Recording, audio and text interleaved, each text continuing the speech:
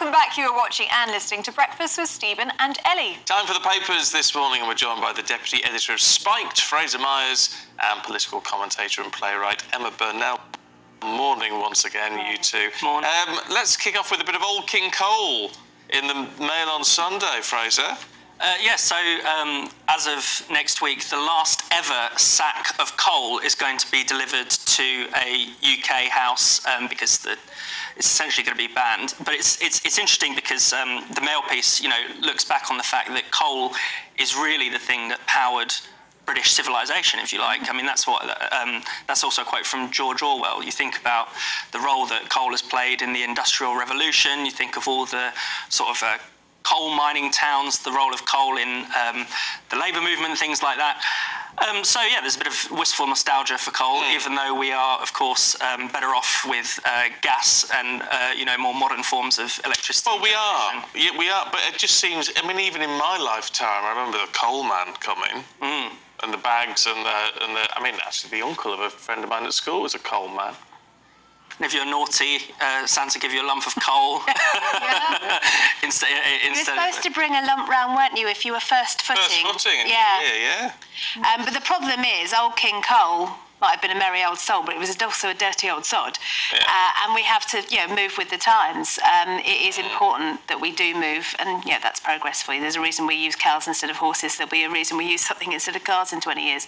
You know, the- these are uh, important developments. Um, and it's right to look back and celebrate what we've achieved. Um, and Fraser's absolutely right. Um, the coal industry, in terms of the in- industrial revolution, was essential. Um, and coal mining was an essential part of the labour movement, which built um, you know, a lot of what we consider the, the institutions of the left in this country. Um, but all of them, I think the, the NUM is now a very, very small um, uh, union. Uh, all of this is. It, it, progress is not terrible.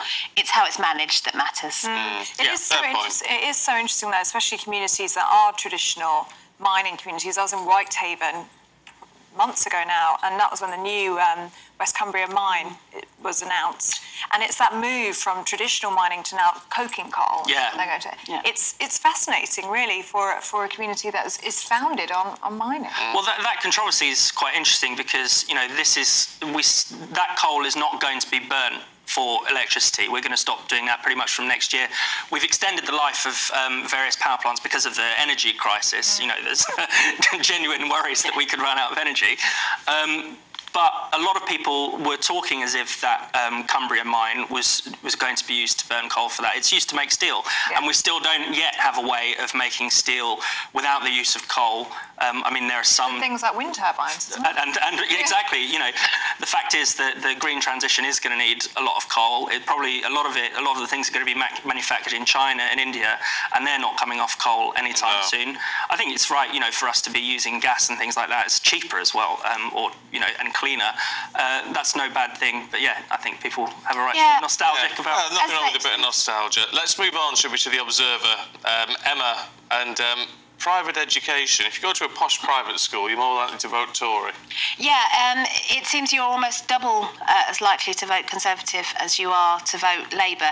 Now, this is a longitudinal study. It's worth pointing out. This is uh, this has followed a cohort who were born in 1970, which is five years before I was born, so you know really ancient. Um, and they, but they have you know looked over their lifetime. So it's not just whether they're going to vote late Tory at the next election. It's that they develop a lifetime's pattern of voting Conservative. And I think this is an interesting story because we've been talking a lot over the last couple of weeks. There's been a big furore about who are the elites, um, and this idea that all the elites are sort of liberal. And I think when we're in the media, that it can feel that way a little bit. But actually, um, what you largely get from private school, you get a good education, whether it's better or not than some state schools, that's questionable. But what you really get is a fantastic network. And it's those doors that get opened that do develop into, you know, we think that all the private schools are, are filling up um, the BBC. That's not true. What they're what they're largely going into is private industry and you know that kind of old school tie networks, and they are going to have that. Therefore, more more likely to be low tax, low regulation, because that's what they've they've been inculcated in throughout their working life. Um, so. It, private schools are a, a step, a, a, buying an advantage essentially, otherwise you wouldn't pay for it. Um, and that therefore speaks to something that is likely to address a more conservative uh, viewpoint. Yeah. It'd be yeah, interesting to see. Shocker, well, uh, yeah, I, I, guess one of the things is obviously that voting patterns have changed very significantly in the last um, 10, 15 years, particularly um, you know around before and after Brexit. Uh, nowadays, in 2015, if you're a graduate, you're more likely to vote Tory now you're much more likely to vote Labour since mm. the, since the Brexit vote. And I'd imagine most people who go to private school go on to higher education. Um, and you know, the 2019 election was a bit of an anomaly where you did have large numbers of working class people voting Tory for the first time. Uh, you know, if you were in the C2DE category, you're more likely to vote Conservative. If you had a lower, the lower your salary, the more likely you were to vote Conservative. So that was a significant break with um, the assumptions we had in the past of, of people voting. Uh, working class people voting Labour. It'd be interesting to see if that carries on because uh, a lot of people would say that Rishi Sunak doesn't have quite have the same appeal to the red wall voters, the mythical red wall voters, as, as Rishi Sunak does. Um, and also, there's a lot of research showing that millennials are not, um, they're sort of breaking this pattern where people traditionally become more conservative as they get older. Usually, it's around age of 35 where people start to. Um, switch allegiances, and that isn't happening, and that's the case in the UK and the US. Mm. So it's not as if we can attribute this to any oh, particular okay. decisions of our own. No, but I do think one of the things that is true in both the UK and US is it's it's harder and harder to actually get economic capital. Mm. Um, people are not able to buy a house. I know plenty of people of my own cohort. Yeah, I'm 48 um, who simply can't afford to buy a house. And why would you be a capitalist with no capital? I mean, it's just, just you know, it's basic public policy. Mm. And unfortunately, we've, we've become the Conservative Party has become a party with very narrow interests at times. So you know they're always looking to the people who already own homes, that that smaller and smaller group who don't want new homes built. But that is meaning that they're not developing that next generation of voters.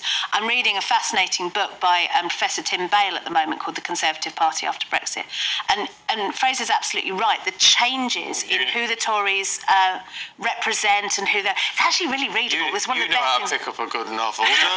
well, I am also reading the Hilary Mantel book, so you know. I'm love reading it. No, let's, very busy. Let's have, well, you could be doing a degree with all this reading. What about this uh, Sunday Telegraph looking at a Mickey Mouse qualification? Uh, so they've, they've picked up on uh, a degree that's being the, the actual degree it's a master's degree in queer performance but one of the big aspects of it is drag and you pay £11,000 for uh, a 15 month course, which seems pretty extraordinary to me, just because you know you're thinking about it's a lot of money.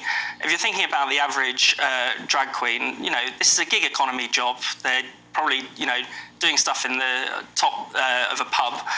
It, it's not a particularly lucrative career. I wonder if you know RuPaul's Drag Race has uh, convinced people that it's it's much more uh, glamorous than it probably is. Um, maybe that's why there's so many drag queens in libraries and schools at the moment because they're you know, aren't enough uh, nightclubs to, to cover all yeah. the work. There's a big glut of them, it seems. I do find it very odd, though, because there is this, at the minute, there seems to be quite a thing against drag queens. A lot of people seem to be getting, sticking the boot in. Yeah, um, and, and, and yet, in the, you know, in only a week ago, everyone's lauding Paul O'Grady, who no one yeah. would know of if, if he was, hadn't been a drag queen. I mean, I've seen so great drag great and I've hypocrisy. seen terrible drag. I, I, mean, it's like all art forms. I mean, I think it is worth mentioning about this degree. It's, it is actually an accredited master's degree from actually a very good drama school. Rose Bruford is a very well-respected drama school. So this is not, um, you know, some fly-by-night operation. No. Um, I, I mean, £11,000 is actually fairly standard for a master's. It's actually on the lower end, I think, for some places. Um, so you will come out of this with a relevant and academic qualification. So you won't just be simply learning how to do drag, you'll be doing a lot of the theory. So when I did my master's in journalism, it wasn't just write 10 articles, it was, you know, really going in depth into what journalism is, what it's about, the history of it, all of these things. So I think that it is worth saying this isn't just some non accredited course. I, I would question whether anyone of, at any university on any topic should have to spend £11,000 on what is largely a remote course. Um, but that's a bigger question for the whole of academia, not just for Rose Bruford. Um, can we have a look at this? Um, I want you both to, to, to get stuck in on this one. It's a Mail Online. I think it's a Mail Online, isn't it? But looking, but looking at the Bodyguard Yes. uh, musical, because I, mean, I know you picked the story, but you're a playwright Yeah. as well. I mean, it's should we be getting so irate because some people in an audience want to sing along to a musical? Well, it, it seems it went a little bit further than that, which is Well, quite funny. yeah, that's the problem. Uh, you know, singing, singing along to a musical is all well and good, but uh, there seemed to be like quite a big disturbance. Um, and the police had to be called, and it ended up, um, the performers didn't end up being able to finish the show, unfortunately.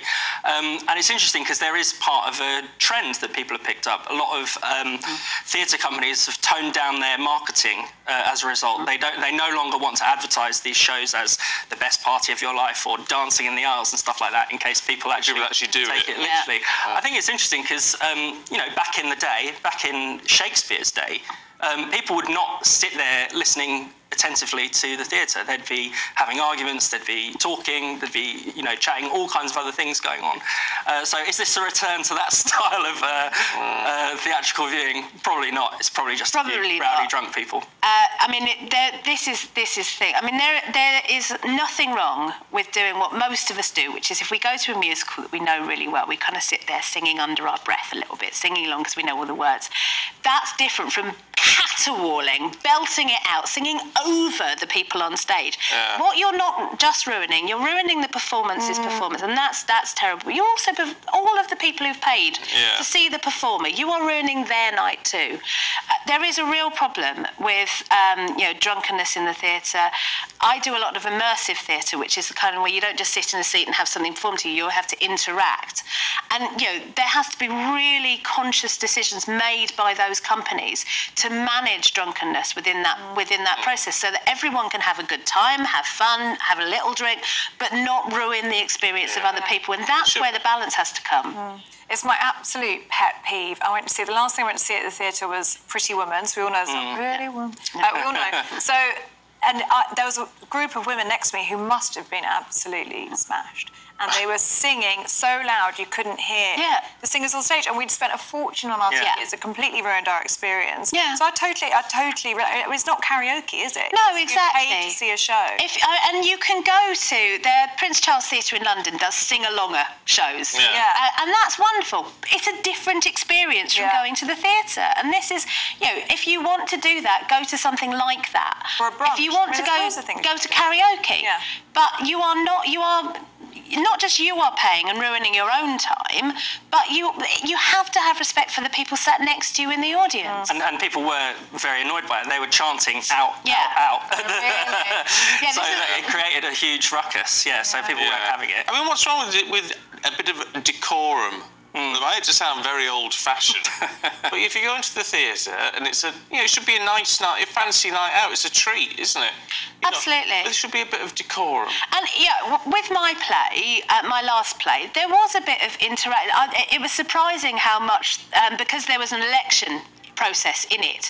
Actually, you could feel the audience slightly taking sides, and it was very interesting as who was supporting which candidate and all of that sort of thing. But it was not done in such a way that it would have at all affected anybody else's experience. And if it had been, I'd have been the first one to chuck them out. Yeah, yeah. No, I think it's a very fair point. Uh, Fraser, Emma, thank you very much Thank indeed. you. Thank you. Uh, I'm sure you've got a view on that. Uh,